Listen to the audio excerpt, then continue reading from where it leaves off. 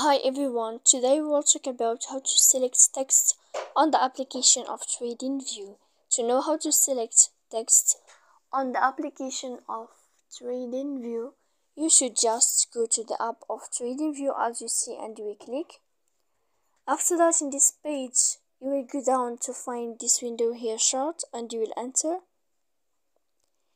Then in this page, you will go down to click in this sign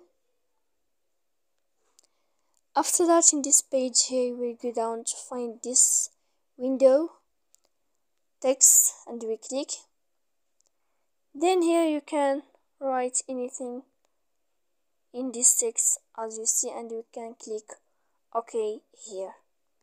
So then you can know how to select text on the application of TradingView so please don't forget to support us by like and subscribe. See you next time in another video and thank you for watching